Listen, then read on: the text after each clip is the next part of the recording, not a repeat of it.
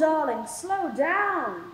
Did you just say that on August 16th, Get Real is hosting a cyberpunk night for hackers and Johnny Mnemonic in glorious black and white? I'll be there.